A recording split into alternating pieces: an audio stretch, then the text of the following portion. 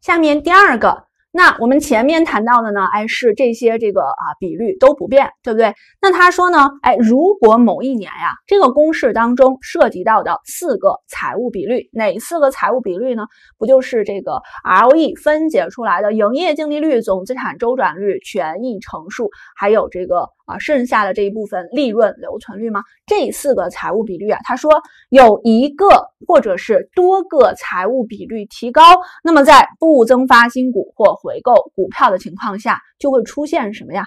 我就不是说，哎，我各种增长率都相等了啊。那么本年的实际增长率就会怎么样啊？超过上年的可持续增长率。本年的实际增长率和上年的可持续增长率是个什么关系啊？大家还记得我们最开始进行概念明确的时候，那么上年的可持续增长率是站在上一年的基础之上对本年进行的一个预期，对不对？那比如说啊，上一年啊站的这个台子是这么高，他去预测呢，说哎，本年啊跟我这些啊这个一样高，所以我们站相同的台子啊，本年跟我一样高，站相同的台子，那么本年能够实现的一个增长。对不对？那这是上一年去对本年的一个预测，那它站在这个台子的基础之上。那但是本年真的。如上一年的预测一样，跟它一样高的这个台子吗？我们说并不是的，对不对？因为它的这个比率怎么样啊？提高了，所以本年实际的这个台子呀要更高一些。那么本年实际的增长率不就超过了上一年啊可持续增长率？上一年的可持续增长率是假设。啊，都跟我啊一样，那么你能够实现的一个增长率。但现在呢，我说啊，我跟你不一样啊，我比你站的更高了。那么，所以我实际啊实现的这个增长率就要比上一年的可持续增长率来的要更高。那后面说，本年的可持续增长率也会超过上年的可持续增长率。为什么呢？本年的可持续增长率是怎么样啊？是假设下一年呢和本年的水平一样，那么下一年预计能够实现的增长，下一年和本年的水平一样，那么下一年站的这个台子是不是就更高了？是站在这样的一个高的台子的基础之上进行的预测。那么上年的可持续增长率呢？是站在这个比较低的台子的基础之上进行的预测，那显然本年预测出来的这个增长率要比上年预测出来的这个增长率要更高，因为它的指标提高了嘛，对不对？那也就意味着本年的这个可持续增长率，就是本年预测的这个会怎么样啊？会超过上年的可持续增长率。那这个我们是讲的这个。啊，这个提高的情况啊，对不对？所以大家就可以对应去类比。那么，假如他说呀，这四个财务比率当中有一个或者多个比率怎么样啊，下降了，那么在不增发新股或者是回购股票的情况下，那本年的实际增长率呢，就会低于上一年的可持续增长率。我们还是想啊，实际。本年的实际和上一年的可持续增长率，那么上一年的可持续增长，那是假设什么呀？这是上一年，那它站在这个台子上。那上一年假设本年和上一年站的台子是相同的。对不对？那是这样的一个啊，这个相同的台子。那这样我们说，哎，那我这样的假设的情况之下，那我这个啊增长率就是相同的。但是现在告诉我们什么呀？告诉我们其中有一个比率或者是多个比率下降了，所以本年呢不再跟上年占的台子一样高了。本年的台子怎么样啊？就变低了。我降呃降低了一个这个啊台阶啊，我站的这个台子实际就更低了。那我站在这个低的台子上产生的这个增长率，就是我的实际的增长率。那当然要比预计的增长率怎么样来的要更低一些，对不对？所以实际的增长率呢就低于了预计的增长。那本年的可持续增长也会低于上年的可持续增长。为什么呢？因为上年的可持续增长啊，我们画在这里，这是上年它它站的一个台子，那它的这个呃台子这么高，然后站在这样的一个啊基础之上，对本年进行预测。那本年的可持续增长是什么呀？站在本年这个比较低的台子之上。对下一年进行一个预测，我站的这个起点我就比较低了，那我预测出来的这个值当然也会比较少啊，比较小了，对不对？所以呢，本年它的可持续增长率就是本年预测的啊，这个下一年的这个值，那也会低于上一年啊站在比较高的这个台子之上去预测的这个可持续增长率了。好，我们来看一下教材上面的这个啊例子啊，仍然呢是啊表二杠十六，根据期末股东权益来计算可持续增长率。这个时候我们来看三年的数据啊，二零某二年、二零某三年和二零某四年。那大家看一下他们后面的这些啊这个我们关心的指标啊，四个大的指标：营业净利率。期末总资产周转次数、期末总资产啊除以啊这个期末的股东权益，还有利润留存率这四个大的指标，在二零某二年、二零某三年和二零某四年都发生了哪些变化啊？我们看，首先这个二零某二年和二零某三年，你看。营业净利率二零某二年和二零某三年是相同的，总资产的周转啊两年也是相同的，利润的留存两年仍然是相同的。那么只有一个指标，四个指标当中有一个指标两年是不相同的，是哪一个呀？就是期末总资产去除以期初的股东啊，期末总资产去除以期末的股东权益，对不对？就是二零某三年，大家看。它的这个权益乘数是一点五六，二零某二年权益乘数呢是一点一八一八。我们说权益乘数的提高，那主要啊这个反映它的一个资本结构的变化，对不对？那你看，哎，二零某三年它的权益乘数为什么会提高呀？那我们就去看一下具体的这些指标啊，那观察一下二零某三年和二零某二年对于权益乘数，我们说权益乘数主要是呃考察它的这个长期偿债嘛，负债的这样的一个比率。那你去看看二零某三年的负债，负债是多少啊？是二百三十一，但是你看二零某二年的负债才多少啊？才六十六，所以二零某三年它的负债水平相较于二零某二年有了一个特别大幅度的提升，那么导致呢它的这个呃权益乘数相较二零某二年有了一个大幅度的提升。那现在我们就来看一下它们这几个增长率之间是什么关系。那么首先呢，这个二零某二年的可持续增长率百分之十是什么意思呢？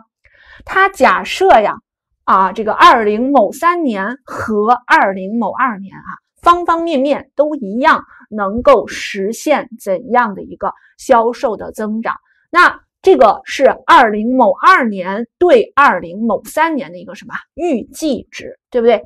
那二零某三年，大家看它的实际值是多少啊？实际的增长率是百分之五十，那这个就是用二零某三年的营业收入啊，这个减去二零某二年的，再除以二零某二年的，那你看它的实际值是怎么样？大幅度的高于了它的预测值，那么实际是百分之五十。为什么会出现这样的情况呢？那这个预测值，你首先得知道它是怎么预测的呀？它假设呀，二零某三年啊，这些指标都跟二零某二年相同，它能够实现的一个销售收入的增长增长。但是人家二零某三年是和二零某二年预期的一样，全都相同吗？我们说并不是啊。那其中有一个指标是什么呀？权益乘数啊。这个权益乘数，二零某三年相对于二零某二年有了一个特别大的提升，所以它跟二零某二年不再相同了。那正是因为有了这样的一个提升，那使得它实际的增长超过了二零某二年对它预期的一个增长。那我们再来看二零某三年它的可持续增长率。是百分之十三点六四，这个百分之十三点六四仍然高于二零某二年的这个百分之十，为什么呢？二零某三年的可持续增长率是站在二零某三年的基础之上对二零某四年的预测，那它假设是什么呀？假设啊，这个二零某四年跟二零某三年的这些指标都完全一样，它能够实现啊这个二零某四年多大的一个增长？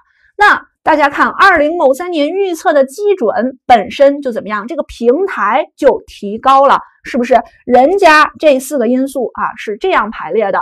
然后呢，二零某二年啊，这四个因素是这样排列的。那虽然说有三个因素当都相同，但是还有一个因素，人家二零某三年比二零某二年来的更高啊，对不对？所以呢，它的这个预测的基准本身就提高了，那它再去预测出来的可持续增长率也要比二零某二年的可持续增长率来的更高。所以这个就是我们所说百分之十三点六四要比这个百分之十来。的更高。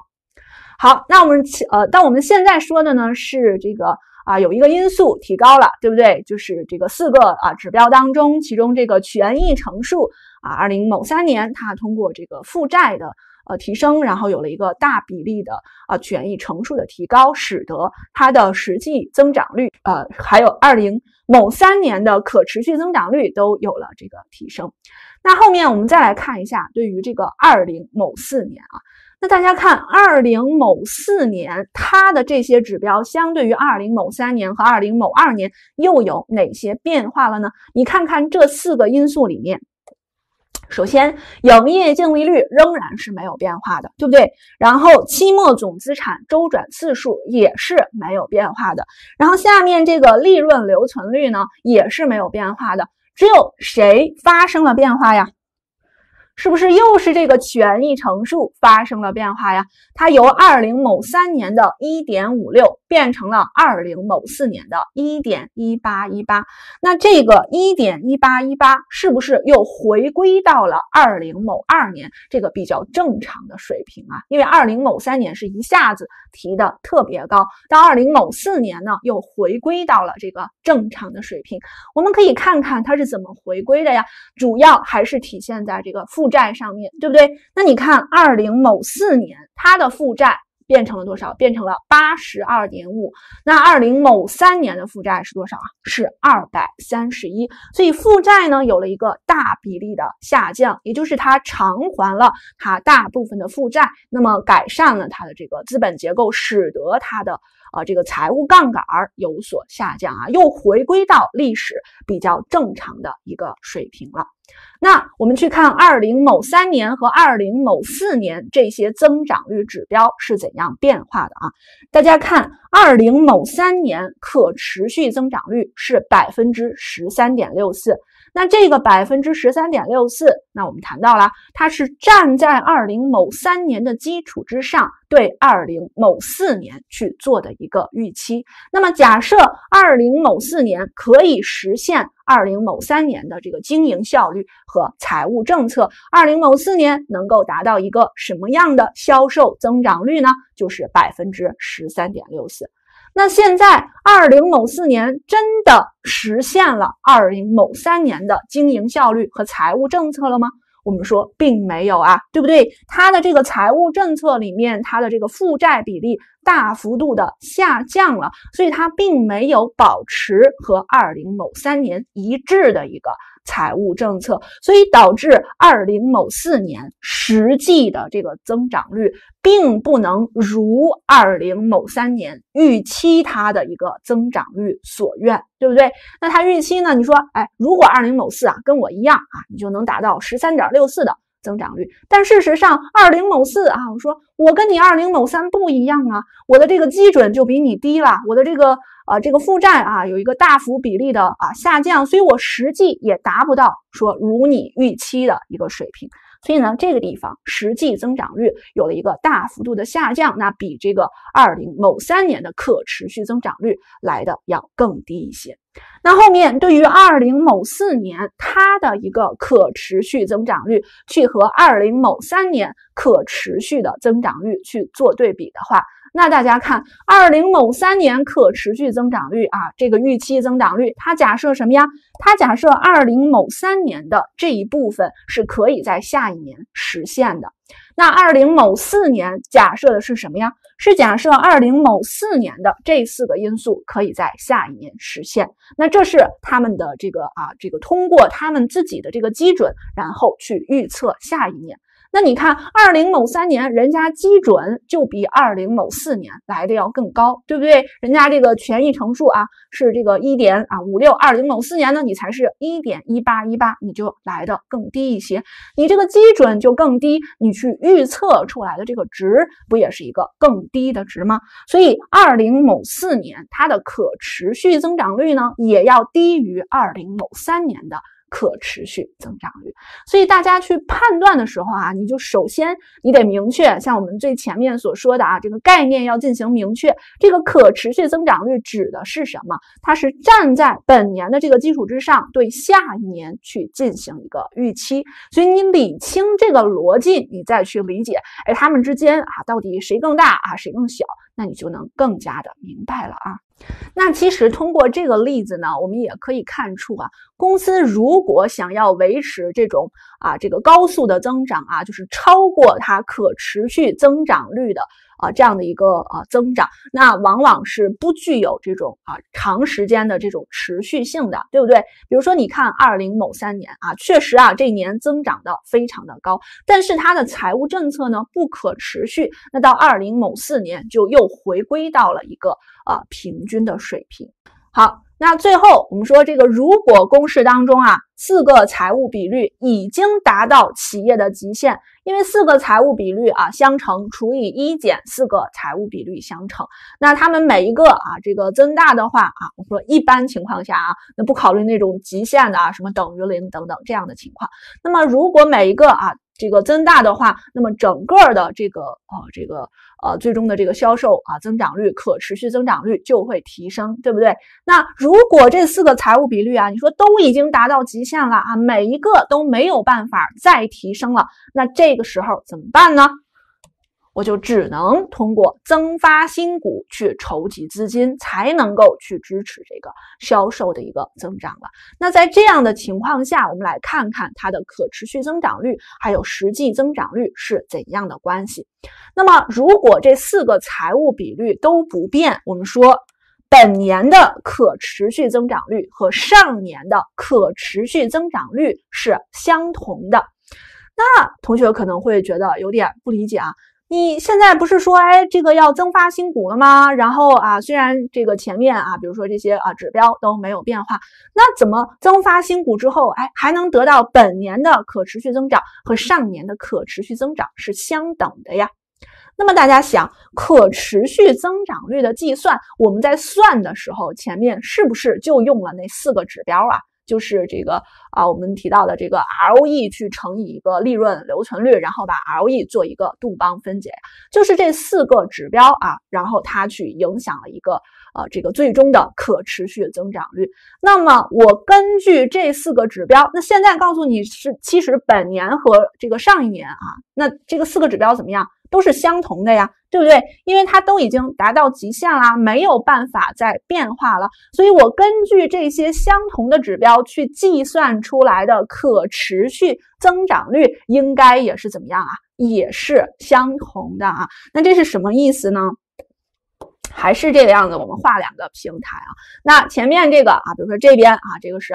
啊，这个啊，上一年的上一年，它的可持续增长率是站在它的这个四个指标啊这个平台的基础之上。那同时假设什么呀？假设下一年啊，它不要啊这个这个增发新股，或者是啊这个啊这个回购股票啊，就不发生这样的一个变动，那它能够在这个销售收入实现的一个增长。那这是这个上一年的。可持续增长率，那本年的可持续增长率是什么呀？本年呀，假设下一年，我只是假设啊，那这个地方也是啊，我只是上一年假设，我们写一下啊，假写一个假，假设本年上一年假设本年不发股利，那同时啊呃不是不发股利啊啊这个不发新股或者是回购呃不发新股或回购股票啊，然后呢这个呃四个指标又都不变，那假设的这一部分啊是我上一年啊假设本年啊是不发新股的，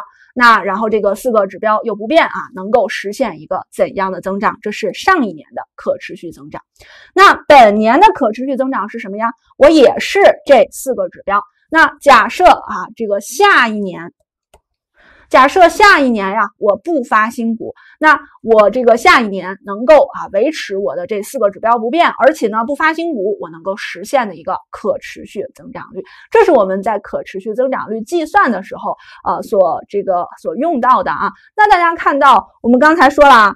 我这个是上一年假设本年不发这个新股，那本年呢是本年假设下一年不发新股，对不对？那所以呢，我这个只是假设呀，对不对？我只是假设不发新股，所以这个发不发新股，它事实上没有真正的去影响到我的可持续增长率的计算。所以呢，本年的可持续和上年的可持续，那都是对下面的，就是对他们本身下面的那年的一个。啊，预测对不对？因为对下面发不发新股啊是假设的，那这个四个比率才是影响它的一个实际的计算的。所以呢，假设的部分啊，那那我这个假设，而且两年都相同啊，对不对？我这个前面也是假设不发，那后面也是假设不发，是不是？那前面的这个财务比啊，这个财务政策还有它的这个啊经营效率又都是相同的，站的台阶儿相同，然后他们的假设也相同，所以它做出的预测怎么样啊？也一定是相同的，也就是本年的可持续增长就等于上年的可持续增长。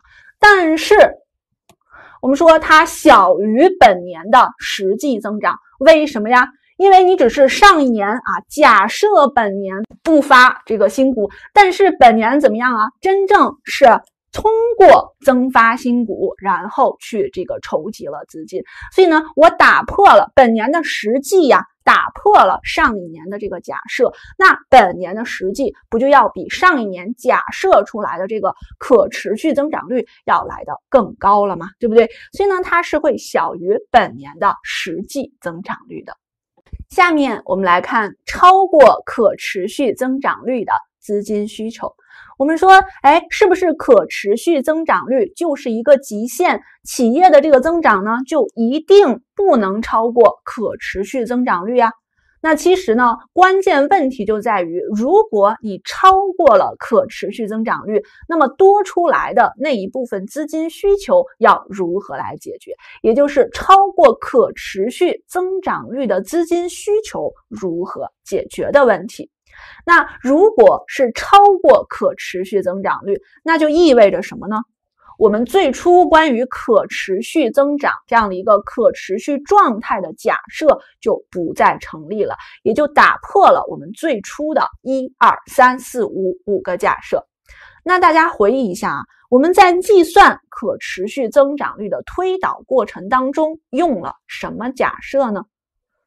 我们回忆。那前面我们谈到，哎，假设二，假设三，假设五。那大家想一下，假设二是什么呀？我们说第一部分，我们这个假设分成三个大的块儿来记忆。第一大块呢是经营效率，经营效率里，呃，经营效率里面是这个啊，薄利多销利，对不对？第一个是利，营业净利率；第二个是多销，是总资产周转率，对不对？所以第二个是总资产周转率。那么第三个，那就到达我们的这个财务政策是外部的，所以是权益乘数。第五个是单不楞的那一个，对不对？是它的这个啊，这个呃股份的一个变化啊，它不发新股，也不回购股票。我们只用了假设二三五，我们最终呢就推出来可持续的增长率就等于这个呃这个新增的这一部分啊这个留存收益去除以一个期初的。股东权益。这是我们在推导可持续增长率的时候所用到的假设。那不论呢是从这个期初呃股东权益的计算，还是从期末股东权益的计算，其实最开始都是不变的。我们前面已经讲过了，所以这里面就不再赘述了啊，都是假设二三五，哎，我们最后就直接推出了这个式子。那既然推导这个呃公式呢是用了假设二三五，那其他的假设我们暂时没有用到，那所以大家想一下，什么时候？可以直接利用我们前面推导出来的那个可持续增长率的公式去进行相关的一个测算呢？我们这里面又把这几个假设列出来啊，三大块：经营效率、财务政策，还有最后单独的这个假设。我们说假设二、假设三、假设五是我们推导可持续增长率等于什么什么的时候啊用到的这个假设。那谁没有用到呢？不就是假设一和假设四没有用到吗？那既然假设一和假设四它没有用到我们的公式推导当中，那就意味着假设一或者是假设四被打破的时候，我们推导出来的这个可持续增长率，那这个时候它的这个公式仍然是成立的，对不对？那也就是说，说什么时候可以直接利用前面的这个公式呢？那也就是假设一或者是假设四发生变化的时候，我们就能直接利用公式。怎么去利用公式呢？其实就是知四求一的一个过程。大家想啊，我们前面的这个公式是什么呀？是可持续增长率等于四个因素相乘。那这个是打引号的。这个呃，这个呃，这个权益乘数，对不对？那如果我们用期末的来计算的话，那就是这个一呃，那就是四个因素相乘除以一减四个因素相乘，这是可持续增长率等于这个东西，对不对？我们得到的是这样一个公式。那可持续增长率本身它其实是一个什么呀？它就是一个销售收入的增长率啊，对不对？所以呢，其实就是销售收入增长率等于四个因素相乘除以一减四个因素相乘。那这样的一个方程。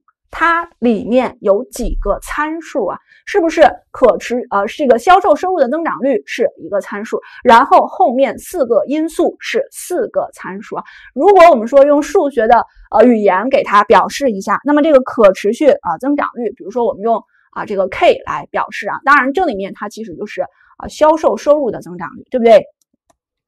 那它应该是 x 一 x 二。X 三、x 四这四个因素的一个影响，对不对？那就是四个因素相乘除以一减四个因素相乘，这个就是它的这个函数啊。那我们这里面为什么说，哎，说叫知四求一的一个过程啊？现在啊，它不叫说啊是这个可持续增长啊，它打破了我们的假设，所以它不再是一个可持续的状态。但是这个增长率，销售收入的增长率，我们仍然是可以用这个公式进行计算的。那它往往会告诉你什么呢？说啊，我现在要实现销售收入的增长率，比如说啊是啊百分之二十。那这个百分之二十，它超过了我测算出来的这个可持续增长率，所以是一个高增长的状态嘛，对不对？所以这个地方销售收入的增长率就变成一个已知数了。那后面呢？我们说，哎，四个因素嘛，对不对？那四个因素，那往往呢会告诉我们三个因素，比如说，那他说这个。啊，这个前面的这个总资产啊周转率不变呐，权益乘数啊不变呐，然后啊这个股利支付率不变呐，这个假啊这个呃所有者呃权益增加的所有者权益也等于增加的留存收益，就是后面的假设后面的二三四五都没有被打破的话，那么相当于我们在这里面呢知道了三个因素，比如说知道了啊总资产周转率，知道了权益乘数，知道了这个啊股利支付率，那这几个因素知道了，我们要求什么呢？就是求前面说营业净利率得达到多少呀？那我们用的不就是这个公式了吗？相当于啊，这个是已知的，然后后面呢还有三个因素是已知的，然后反过来去求一下变动的被打破的那个因素。为什么可以这样去计算呢？就是因为假设这两个被打破的因素，它就没有影响到我们这个公式的计算。只不过这个时候，这个公式它的这个呃增长率呢，我们就不把它称之为可持续增长率啊，是一个打引号的。可持续增长率，事实上它就是什么销售收入的增长率。你就兵来将挡，水来土掩嘛，对不对？你是销售收入的增长率，那你要达到多少啊？你告诉我就好了，我把它放在等式的一边，然后右边啊，那我就看看你这几个因素里面到底啊，那是这个因素一变动了，还是因素四变动了呀？那其他的不就都没变吗？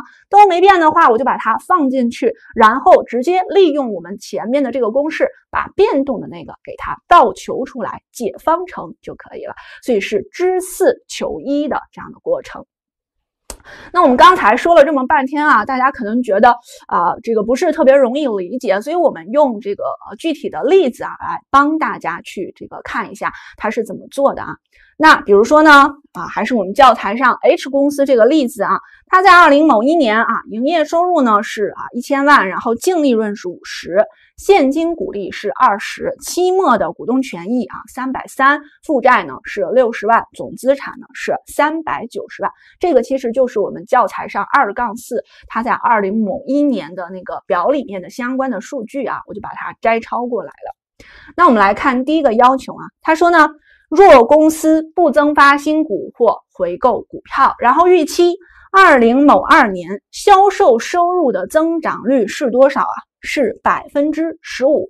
那同时呢，他说保持二零某一年啊这个总资产周转率、权益乘数和利润留存率不变。那问营业净利率要达到多少的一个水平？那大家看看啊，这道题问我们的是什么意思？我们来解读一下。你看我们在前面去计算这个。呃，这个 H 公司它的可持续增长率的时候，二零某一年根据它报表里面的数据，我们算出来它的可持续增长率是多少啊？是百分之十，对不对？那百分之十是可持续的增长，平衡的增长。但是它现在告诉你啊，我的这个二零某二年啊，预计的这个增长率啊。不再是百分之十了啊，那超过了我的这个可持续增长率。那为什么是二零某二年的这个销售收入的增长率去和我们前面所说的啊这个二零某一年的可持续增长率百分之十去对比呢？大家想一下啊，二零某一年的可持续增长率不就是对于二零某二年？增长率的一个预测吗，对不对？它是一个预期值。那我原来啊预期是百分之十，我现在告诉你啊，预期是百分之十五，超过了百分之十，达到了一个高增长的一个状态。那这样怎么去实现呢？那如果全部按二零某一年的这个。啊，经营效率和财务政策来，我二零某二年就达不到百分之十五的状态了，我只能达到百分之十，对不对？所以呢，现在我们想问问，二零某一年的相关的指标要如何变化，才能使得二零某二年达到一个高增长的状态？那我们具体去看看二零某一年和二零某二年中间有哪些差异？它在增长的过程当中，可持续增长率的哪些假设仍旧延续？哪些假设被打破了？那我们看，首先，若公司不增发新股或回购股票，这是假设几呀？是不是假设五呀？我们那个单不愣的假设，对不对？然后保持二零某一年总资产周转率，总资产周转率是假设几啊？假设二，对不对？权益乘数，权益乘数是假设三，利润留存率是什么？假设四。那问的呢是营业净利率要达到多少？所以大家看我们这个题目，它只有哪一个假设被打破了？就是假设一。营业净利率被打破了。他问营业净利率要达到多少，而不是说我营业净利率维持和上一年一样的水平。因为如果营业净利率也维持和上一年一样的水平，那我一二三四五都成立，我二零某二年只能增长百分之十，我就增长不了百分之十五了，对不对？所以现在我想要增长百分之十五，我营业净利率得变成多少啊？那假设一被打破了，那我们前面说，哎，假设一它怎么样啊？没有参与到我们关于销售增长率的这个公式的一个推算，所以呢，我们就可以直接利用这个公式进行一个知四求一的过程。公式这个函数给到我们了，就是四个相乘啊，除以一减四个相乘，就等于销售收入的增长率。那现在销售收入的增长率是多少啊？百分之十五。后面那四个因素啊，只有这个营业净利率没有告诉我们，剩下其他的相当于都告诉我们了，因为和前面保持一致，对不对？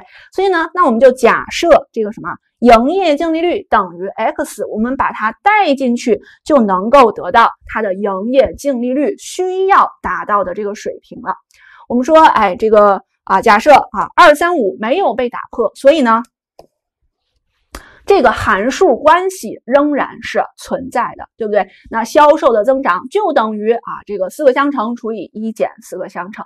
我们这里面就把它这个呃前面的那个三个因素呢，就简写成 ROE 了啊。然后那预计增长率是多少啊？是百分之十五。然后右边啊，把这些因素已知的三个因素给它带进去。那么唯一未知的列为 x，就是营业净利率。然后求解这个方程，那我就得到哎。营业净利率我就不能再跟二零某一年保持一个相同的水平了，我得啊这个比二零某一年来的要更高一些，才能够实现比二零某一年这个可持续增长率更高水平的一个增长。好，刚才呢我们看到的是假设一营业净利率保持不变被打破了，那现在我们再来看一下啊这个第二个问题。他说呢，若公司不增发新股或回购股票，哎，这个是假设几呀？是不是假设五啊？假设五仍然成立。然后预期二零某二年销售收入的增长率呢是百分之十五。我们看这个百分之十五仍然超过了它的百分之十的一个这个呃可持续增长率，那达到了一个高增长的状态啊。那保持二零某一年的营业净利率，第几个假设呀？第一个假设对不对？总资产周转率，第二个假设权益乘数，第三个假设不变。问我们什么呢？利润留存率要达到多少？利润留存率是第四个假设。所以大家看一下这个题目，你看哪些假设被打破了，哪些假设没有被打破呀？是不是假设四被打破了？然后假设一二三五没有被打破呀？那我们前面说了，这个假设一或者是假设四，它没有参与到我们的呃这个。呃，这个这个收入增长率的一个计算过程当中啊，对不对？所以呢，我们仍然可以用这个收入增长率的公式去选择知四求一，这样去求解这个方程。所以呢，这道题啊，大家看到二三五没有被打破，哎，所以这个公式仍然是成立的。那现在问你，这个预期的销售增长率啊是多少啊？是百分之十五。然后这四个因素分别是多少啊？那你把它已知的带进来，那就是跟上年一样的这些带进来，哪个是不一样的呀？利润留存率是不一样的。那把它设为 x。那最后呢，我们求 x 去啊，这个求解等于零点八六。所以那我们就回答了前面的问题，说利润留存率要达到多少啊？呃，要达到这个。啊，这个百分之啊八十六啊，那原来是多少？原来是零点六，是百分之六十，对不对？那所以这样它的利润留存率跟去年不一样了，它留下来的更多了，那么才能够去支持它这个高增长的这样的一个状态啊。那这是我们第二个啊。那下面再来看这个第三个，他说呢，若公司不增发新股或回购回购股票，那我们首先反映第几个假设呀？第五个假设，对不对？然后预计二零二二零某二年呢，这个销售收入的增长率是百分之十五，仍然高于它的这个呃百分之十的一个呃这个呃可持续增长率，对不对？还是处于一个高增长的状态啊。然后保持二零某一年什么不变啊？大家看营业净利率，那你反映营业净利率是第几个假设呀？是不是第一个呀？权益乘数，权益乘数是第三个假设，利润留存率是第四个假设。那问总资产周转率要达到多少？你看总资产周转率是第几个？是第二个假设。对不对？那他现在问的呢是总资产周转率要达到多少？也就是说，我二零某二年的总资产周转率跟二零某一年的总资产周转率怎么样？不再一样了。那这个发生了一个变化。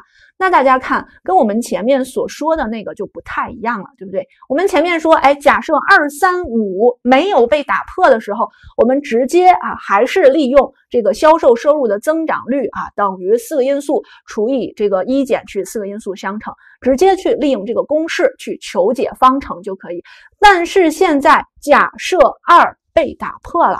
我的这个总资产周转率不再跟去年一致了，所以呢，这个时候我的这个呃这个公式呢就不成立了，我们就不能直接再简单的我把这个公式写上啊，然后把这个对应的这个这个数啊都给它填上，我再做一个知四求一的过程就错了，我们就不能利用这个公式来做了。那这个时候你说怎么做呢？我们就看到底谁变了，谁没变，从没变的出发。首先呢，销售收入的增长率是百分之十五，谁没有变化呢？大家看，第一个，营业净利率没有变化。那营业净利率等于什么呀？等于净利润去除以营业收入。因为营业净利率不变，那就意味着这个净利润和营业收入应该是同比例变化的，对不对？那么销售收入增长了百分之十五，那我问净利润增长了多少啊？净利润是不是也增长了百分之十五啊？那我乘以一个啊，原来的净利润我是有的呀，对不对？我在原来的这个净利润啊，我们翻回去看一下，原来的净利润是多少呀？原来的这个净利润是五十，对不对？那原来的净利润五十，我去给它乘以一个一加上百分之十五，那得到的就是我二零某二年预计的一个净利润了，对不对？那这个预计的净利润求出来之后，那它还告诉你什么呀？利润留存率不变，我们前面利润留存率是多少啊？利润留存率是百分之六十。那我再乘以一个对应的利润留存率，我得到的是什么呀？就是二零某二年新增的这一部分留存收益。对不对？那新增的留存收益前面有一个假设五，他说公司呢是不增发新股或者是回购股票，所以新增的留存收益它就是什么股东权益的变动了，对不对？那么原来的股东权益是多少啊？我们看一下啊，在呃前面原来的股东权益，原来的这个是三百三十万，是不是？那三百三十万是原来的，我加上什么呀？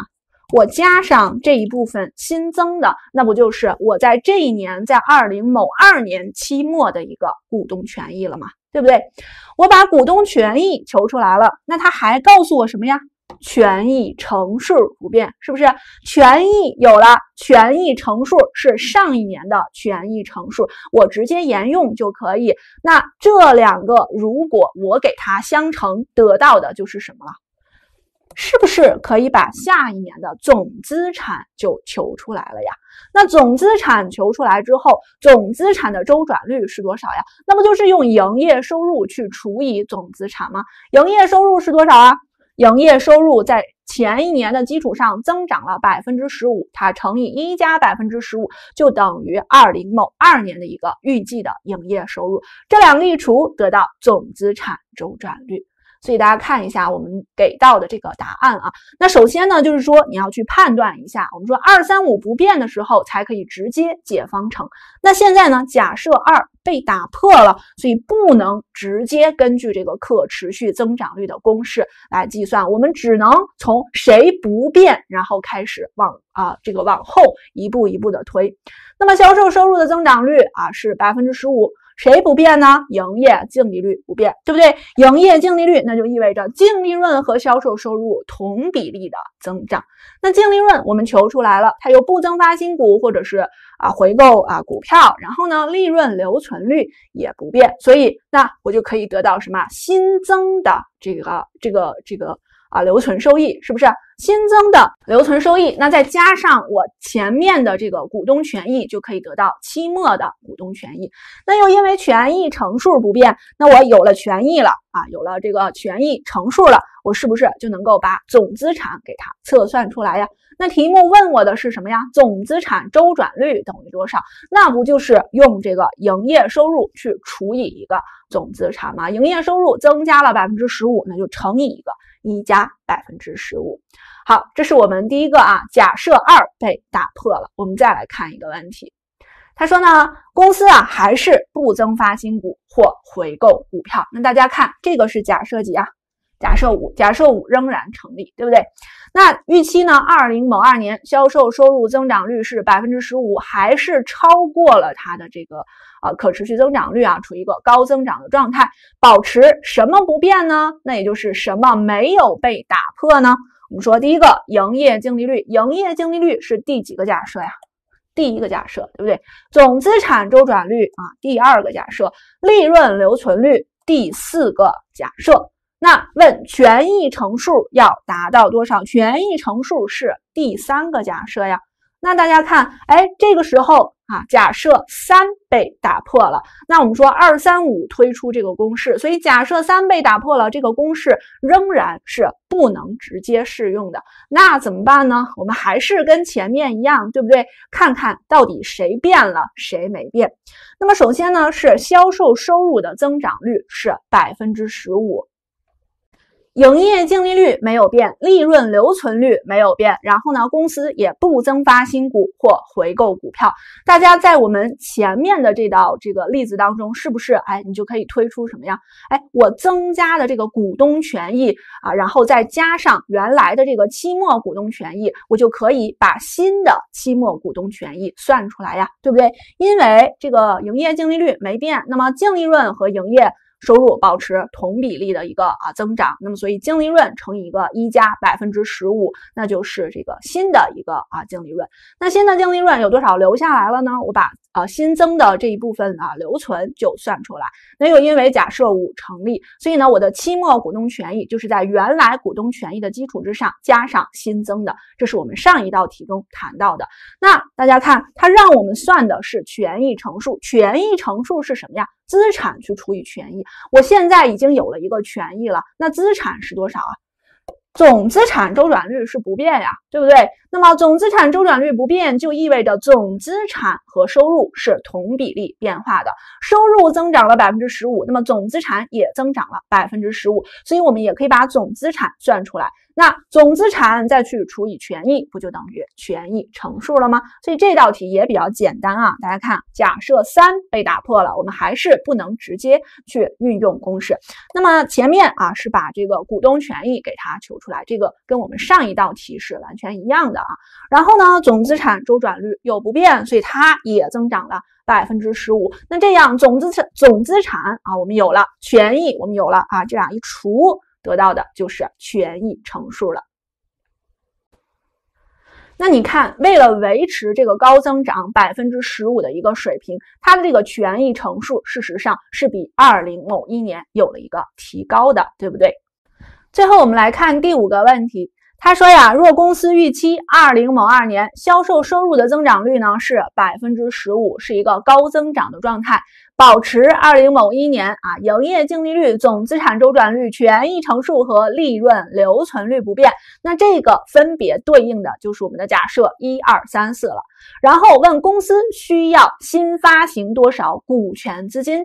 那假设几？发生了变化呀，因为前面我们都是说不啊，这个增发新股啊，对不对？那现在他说，哎，要增发新股了。假设五发生了变化，那仍然呢是不能直接去使用前面我们得到的这个公式去计算啊，还得这个看到底谁变谁没变去进行一个推演。那这个情境其实相对来说比较简单啊，为什么呢？大家看啊，它的整体的这个呃这个相关的指标，营业净利率呀、总资产周转率呀、权益乘数啊、利润留存率都没有发生变化。大家还记得我们在前面去讲解的时候，我们谈到过啊，假设一二三四，我们可以推出什么呀？是不是推出一系列的这些指标都等于它那个可持续增长率啊？对不对？我们在推的时候只用了假设一二三四，那就推出来它的销售收入的增长率等于它的这个资产的增长率等于负债的增长率等于啊这个啊这个股利的啊增长率啊等于权益的增长率啊等等等等那一系列的增长率。所以大家看这里面，哎，因为这些指标一二三四没有变，所以是不是我们那些一系列？的增长率都相等，也是成立的呀。那现在告诉你，销售收入的增长率呢是百分之十五，所以我后面的一系列的增长是不是也都是百分之十五啊？比如说有谁的增长啊？股东权益的增长率是不是也是百分之十五啊？如果股东权益的增长率是百分之十五，那我问你，股东权益的增长额是多少啊？不就是在股东权益期末值的基础之上，我给它乘以一个百分之十五的增长率，就得到股东权益的一个增长额了吗？那股东权益的增长额是怎么提供的呢？我们说，哎，一部分是通过内部的留存收益提供的，那另外一部分当然就是它新发行的股权资金。所以我用股东权益的增长额减去内部留存收益提供的这一部分，那得到的就是它需要新新发行的股权资金了。那内部留存收益提供了多少呢？我们前面啊，大家可以我们再回去呃看一下它的这个。啊，最开始所说的啊，那他说呢，这个净利润呢是啊五十万，现金股利是二十万，它的留存收益是多少啊？二零某一年它的留存收益是三十万，对不对？那么留存收益的增加额的增长，它也要跟我们前面所说的这个啊这个一系列的增长，这个增长率是相同的，对不对？那也就是这三十万，那是前面一年这一年当中所增加的留存收益啊。是留存收益的增加额是一个什么？是一个流量指标啊。那前面一年所增加的留存收益是三十万。那我问你，在前面一年的基础之上增加了百分之十五，那我新的一年又提供了多少留存收益啊？是不是三十乘以一加百分之十五啊？因为它的增长率也是相同的嘛。哎，有的同学说，这里老师你是不是写错了呀？那三十增长，那不应该是三十乘以百分之十五吗？怎么是三十乘以一加上百分之十五了呢？我们说三十它本身是一个什么？是一个流量的概念，对不对？那就是在这一段时间之内。在去年啊这一段时间，它产生了三十。那么今年我问你，这一段时间产生了多少？那比去年多多了这个啊百分之十五。所以今年这一段时间是不是三十乘以一加上百分之十五啊？它并不是三十乘以百分之十五，因为它是一个流量的概念啊。那所以，那今年这一段时间，那它多增加了多少这个啊留存收益呢？我们也算出来了。那增加的股东权益啊，我们知道了是用股东权益的这个期末的数值去乘以它的这个。啊，这个增呃，这个这个百分比对不对？乘以百分之十五，这个地方为什么就直接乘以百分之十五了呢？因为股东权益是个什么？是个存量值，它是在这个基数的基础之上增长百分之十五。那这一段时间增长了多少啊？不就是这个基数去乘以它的增长率，等于它这一段时间的增长额了嘛？对不对？那总的股东权益的增长额减去留存收益所提供的这一部分增长额，那剩下就是我需要。发行的这个股权的资金，对不对？所以呢，我们说，哎，假设五被打破了，不能直接去运用公式。那根据已知条件啊，我们这一系列的增长率都相等。那期末的这个股东权益增加了多少呢？存量对不对？存量的增加值是直接用这个存量去乘以它的这个啊增长的百分比，增长了这个四十九点五。这个增长怎么提供的呢？留存收益和它的这个啊外部的股权融资。留存收益提供了多少啊？那去年啊这一段时间是三十，那今年这一段时间啊增长了百分之十五，那是多少啊？是三十四点五。那这个新发行的股权资金，那就是他们两个去做差。那你说老师，我在做这个的时候啊，我可能没有啊没有想到说前面啊那一系列的啊那些啊比率都相等，那这个时候怎么办呢？是不是我就没法做了呢？并不是的啊，我们还是说从谁不变啊谁变了去出发，一个一个你也能把它推算出来啊。比如说销售收入的增长率是百分之十五，谁不变呢？总资产周转率不变，那所以总资产也增长了多少啊？也增长了百分之十五，那总资产有了，还告诉你权益乘数不变，那权益乘数不变，总资产有了，我期末的权益是不是就知道了？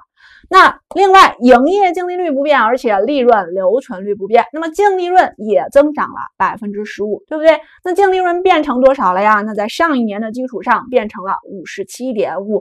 那这五十七点五里面啊，因为利润留存又不变吗？这五十七点五里面有。百分之六十啊，留下来了。那所以新增了多少股权资金啊？那这个是期末的股东权益。那新增的股东权益是什么呀？你得用期末的减去期初的，对不对？这是新增的股东权益。新增的里面再减去由内部提供的，内部是三十四点五，也得到最终的通过外部股权融资来求得的，那是十五万这样的一个啊数额。所以怎么都是可以的啊。你说简便的，我想不到。那我就一步一步来，也是啊，也是可行的。可持续增长率最后一个知识点，我们来学习基于管理用财务报表的可持续增长率。同学可能会问啦，因为前面我们算了半天都是基于传统报表，那有没有基于管理用报表的可持续增长率呢？那我们说也是可以计算的啊。首先，基于管理用报表，那它同样也有对应的假设条件，还有相关的推论。大家看，哎，这个时候假设条件跟我们前面基于传统报表的那个假设条件是不是也非常类似啊？你看，同样的是不是五个假设，对不对？然后这五个假设怎么去啊排序呢？那你看，哎，前面两个事实上说的还是什么？它的经营效率，对不对？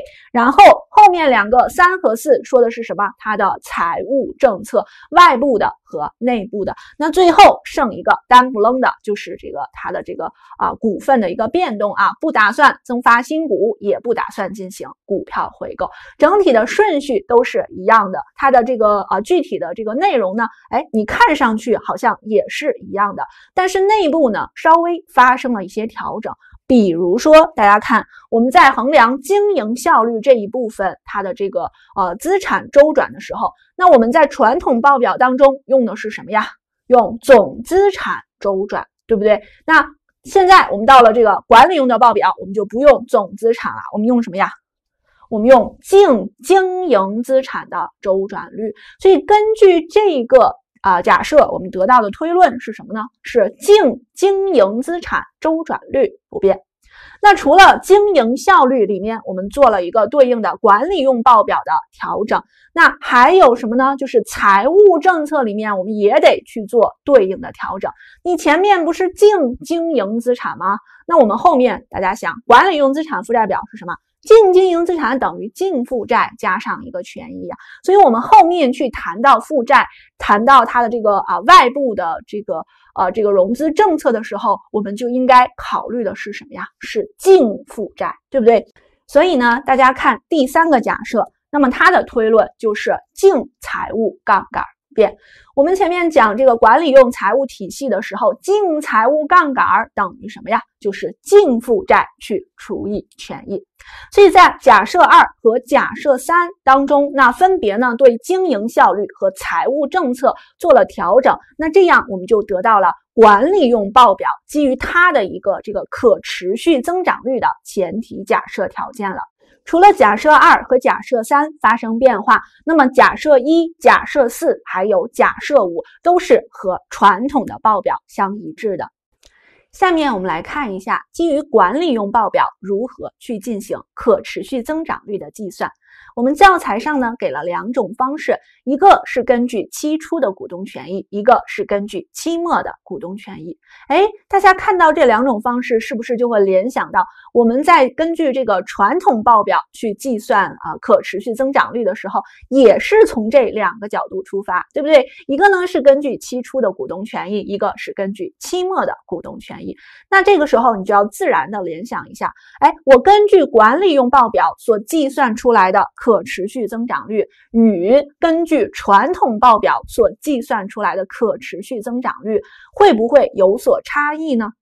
大家可以想象啊，那我们的答案是什么呀？它们两者之间是怎么样啊？不存在差异的。我们首先回忆一下，根据这个传统的财务报表，我们所计算出来的这个可持续增长率，它等于什么呀？在那些假设成立的前提条件下，那么我们说可持续增长率等于什么呀？如果我们用期末的啊来这个呃这个推算的话，那就是呃一减去 ROE 去乘以这个利润留存。啊，利润留存率，然后分支这个 ROE 乘以利润留存率，对不对？所以它主要呢就是受 ROE 和利润留存率的影响。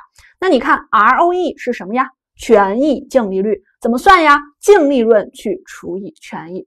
哎，这个利润留存率是什么呀？这个留存下来的这一部分去除以啊这个啊净利润，对不对？那大家看，哎，这个净利润去除以权益，净利润来自什么呀？来自这个啊，你说我们在这个传统报表里面啊，来自这个利润表，对不对？然后净利润除以权益，权益来自什么呀？权益来自资产负债表。那我们前面讲过，在管理用资产负债表，还有这个管理用的利润表当中，它们都有各自和传统报表的一个联系点，对不对？那么管理用资产负债表权益，它是等于传统资产负债表的权益项。管理用利润表的利润啊，这个净利润是等于传统利润表的净利润项，所以你综合去看下来，哎，说我这个最终去影响可持续增长率的。因素是什么呢？就是净利润，还有这个权益，包括我利润里面到底有多少留下来了，对不对？那说的还是利润的事情啊。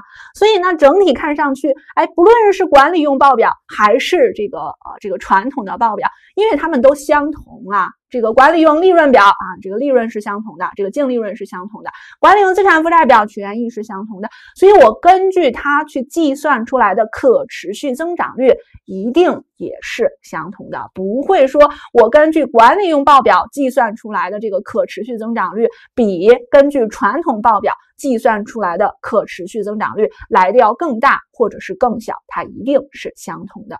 所以，我们秉承着这样的一个这个思路啊，我们来看看可持续增长率在管理用体系当中如何去计算。那这里面呢，仍然他说根据期初的权益去计算。那我们回忆一下传统的，我们把它映像到这个管理用的报表体系当中啊。那你想，我们是根据假设去推演的，对不对？我们前面讲了半天了。到底哪些假设能够推出呃我们啊想求得的这个公式啊？就是假设二三五，对不对？那大家看到前面呃这个管理用财务体系当中的这个假设的排序，和我们前面这个传统体系当中的排序其实也是非常类似的。那我们就去看看，哎，这里面的假设二三五能不能得到我们想要的结论呀？首先，那么这个假设二，净经营资产周转率不变。那么净经营资产周转率等于什么呀？营业收入去除以净经营资产，那也就意味着营业收入和净经营资产是同比例变动的，对不对？那这个可持续的增长率是营业收入的增长，所以呢，这个时候，哎，可持续增长率就等于净经营资产的一个增长率了。那么假设三，假设三说的是什么呀？净财务杠杆不变，净财务杠杆等于净负债去比上权益，所以呢，权益和净负债是同比例变动的。那又有什么呀？我们在管理用的资产负债表当中，净经营资产就等于净负债加上一个权益，对不对？因为净负债和权益是同比例变动的，那么所以净经营资产、净负债和权益还是同比例变动的。那前面我们得到可持续增长率就等于净经营资产的增长率，那现在是不是？可持续增长率等于净经营资产增增长率等于净负债增长率等于股东权益的增长率。我们又来到了股东权益的增长率这个指标。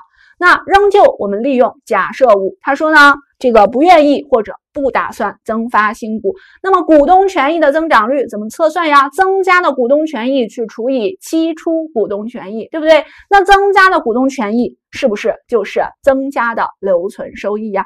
所以呢，仍然我们得到了这个跟传统的这个报表体系相一致的计算结果。虽然中间啊是这个净经营资产啊周转率和净财务杠杆，但最后还是推出了它等于股东权益的增长率，对不对？好，那我们看一下，如果根据期初的来计算，那么最后得到的就是什么？期初权益本期净利率再乘以一个本期的利润留存率。所以这一部分的推算呢，与传统的报表是完全一样的。那你说不一样体现在哪里呢？我们后面是不是就要对这个期初权益本期净利率给它做一个分解了呀？那前面我们去分解的时候是怎么去调整的呢？这个期初权益本期净利率，我们是用营业收入和总资产分别去调整的。那么最终呢是得到三个因子。那这个地方，因为我们考虑的是管理用的报表，我们就不能再用总资产去调整了。你用谁去调整啊？是不是就是用净经营资产进行调整啊？那么首先是用营业收入进行调整，那么净利润去除以营业收入，那得到的呢就是营业净利率。然后营业收入除以谁呀？除以净经营资产，那得到的呢是净经营资产。周转次数，那后面是净经营资产去除以一个权益，除以期初的权益，所以是净经营资产啊，期末净经营资产期初权益乘数。那最后呢是本期的利润留存率。所以整体上来看，它与传统报表期初的计算结果是完全相同的，只不过有哪里的这个差异呢？就是我们打引号的这个 ROE 啊，我们为什么这个地方打引号呢？是因为它的呃这个呃调整的时候是期初嘛，它这个期初期末不太对应，所以我们给它打个引号，但它实质上都是这个这个 ROE 啊。那 ROE 它在分解的时候略有不同，那在管理用的报表体系当中，我们用净经营资产去给它做相关的分解。那这是根据期初的来计算。根据期末的去计算，不也是完全一致的结果吗？对不对？所以这里面我们就不再多说了啊。那根据期末去计算，我们最终得到的是什么呀？就是这个 ROE 乘以利润留存除以一个一减 ROE 乘以利润留存，对不对？那这个时候，哎，我们再去进行调整，给谁进行调整啊？给这个 ROE 进行调整。我们调整的时候，同样跟我们前面是非常类似的，就不能再用总资产进行调整了，而是用什么？而是用净经营资产。进行一个调整，那么对应呢，就得到净经营资产的周转和净经营资产权益乘数。所以呢，这里面的提示也是啊，它和传统的报表呢，大家看这个地方的结果是完全相同的，只是在什么呀？ROE 分解的时候是略有不同。传统呢是直接用总资产进行调整的，那这里面呢，我们是用这个净经营资产做一个对应的调整。好，下面呢，我们来看一道单选题。他说呢，甲公司处于可持续增长的一个状态，预计二零一九年末净经营资产是一千万元，净负债是三百四十万元。哎，那你就反映一下啊，净经营资产知道了，净负债知道了，那这两个一减得到的是什么？就是股东权益，年末的股东权益，对不对？二零一九年营业收入呢是一千一百万元，净利润是一百万元，股利支付率是百分之四十。问我们什么呢？二零一九年可持续增长率是多少？那乍一看，好像这个是一个啊，根据管理用报表去计算可持续增长率的，对不对？但是我们说呢，万变不离其宗啊，它实质上其实都是一样的，就是对于这个啊利润和这个啊权益的一个相关的计算，对不对？所以不论是管理用还是传统，都是相同的。那这个地方我们谈到的是什么？是年末的，对不对？那年末的话，我们选用的这个计算公式是不是就是这个 ROE 乘乘以一个啊利润留存除以一减 ROE 乘以利润留存的，那 ROE 等于多少？利润留存等于多少？我们把它算出来，直接带到这个公式里面，就可以求出它的可持续增长率了，对不对？那 ROE 等于多少呀？我们说，哎，净利润去除以权益，那大家看，哎，净利润告诉我们啦，一百万，对不对？权益是多少啊？那前面啊，这个净经营资产啊，知道了，净负债这两个一减就是权益，所以那它再去除以这个呃权益得到的呢，就是啊 ROE 了，对不对？利润留存率是多少啊？股利支付率是百分之四十，所以利润留存率就是百分之六十了。对不对？所以那我们算的时候呢，直接把它代入到我们的这个公式当中啊，ROE 乘以利润留存除以一个一减去 ROE 乘以利润留存。所以这道题呢，我们应该选择四 D 百分之十这个选项。最后，我们终于来到了本章小结。那这一章呢，属于我们教材当中一个比较难的章节，涉及到的知识点呢，相对也比较多一些。首先，第一个因素分析法。那我们在讲的时候呢，我们谈到了这个连环替代法，还有差异分析法。那它在这个管理用啊，这个啊报表体系，还有这个传统的杜邦分析体系当中，都是非常容易考察到的。那第二个呢，就是基于传统财务报表的各种比率分析，对不对？实质上呢，总共是三大类：偿债能力、营运能力，还有盈利能力。那偿债能力里面呢，又细分了这个短期的偿债能力，还有长期的偿债能力相关的指标。那我们可以在这个。啊，比率的计算的时候呢，哎，去记忆一些一般性的规律。那比如说像这个营运能力啊，还有盈利能力，很多指标是符合这种一般性的规律的。比如说母子率，市价比率呢是针对上市公司啊相关的一个指标。然后就是传统的一个杜邦分析体系，它的核心的这个比率是什么呢？就是这个权益净利率。我们要对权益净利率去给它做一个分解，那最终分解成了就是。营业净利率、总资产周转次数和权益乘数。那第三个就是关于管理用报表，还有管理用财务分析体系。